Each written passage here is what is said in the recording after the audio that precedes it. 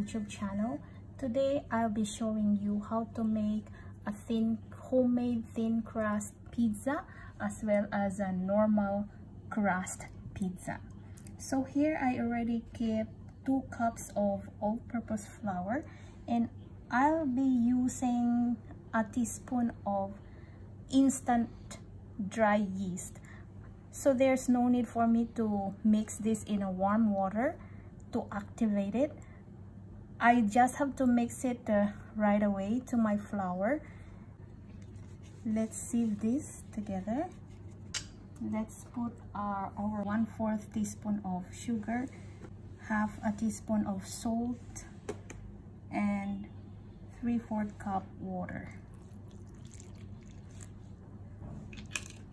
Maybe I'll just uh, add this la later a little bit later. I want to check if my flour is not too dry or not too wet. You mix it with your hand.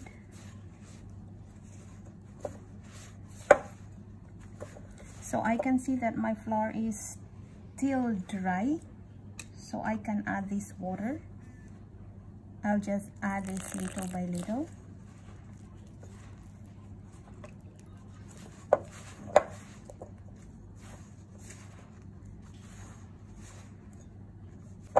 then I can add everything up.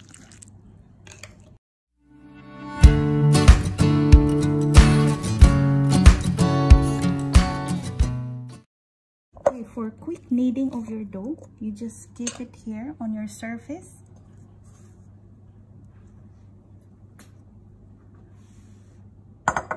Then let's start kneading. You see that the texture of the dough is now a little bit elastic but still this is not done. So you have to knead it some more. You see that the dough is something smooth already and when I stretch it like this it becomes elastic. So it means your dough is ready I will just cut this into two so I can show you how to make the regular crust pizza and this one I will use for the thin crust pizza. For the regular crust pizza, we have to proof this for an hour or until the dough doubles the size. For proofing, you just have to put your dough in a bowl Cover it with a cling wrap and wait until the dough doubles the size. For thinning your pizza crust or your dough, you just have to keep pressing until it is round.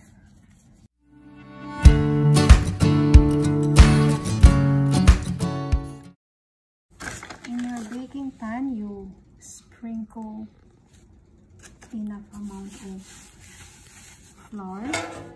Sprinkle it and spread it. Then you put your thin crust pizza over here.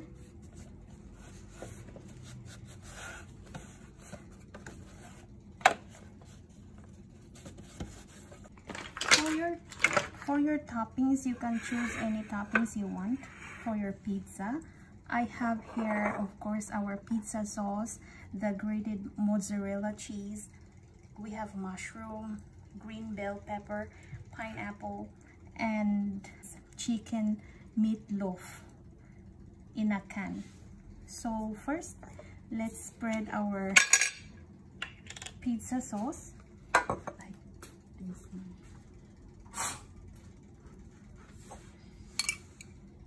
let's spread our pizza sauce here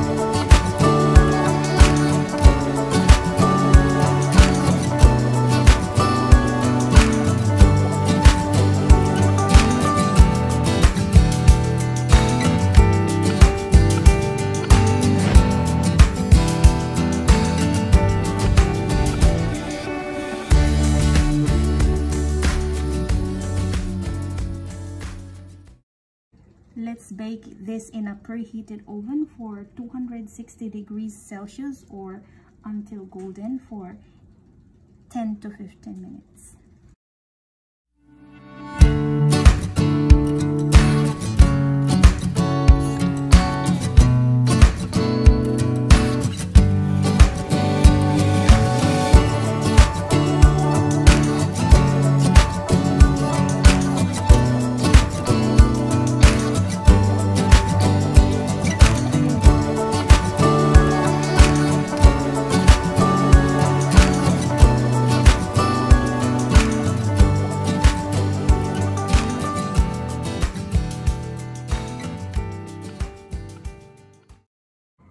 Now you see that the dough has already doubled the size. And when you press it it bounces back. So meaning your dough is your dough proofing is already done. So you just remove this. Remove this from the bowl. And then cling wrap it